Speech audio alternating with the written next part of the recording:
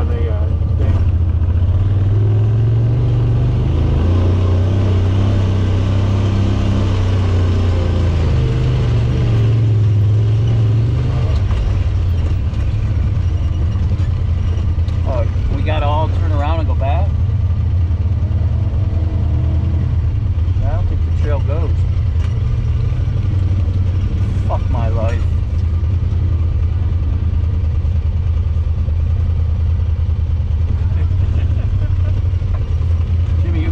up so they can get out.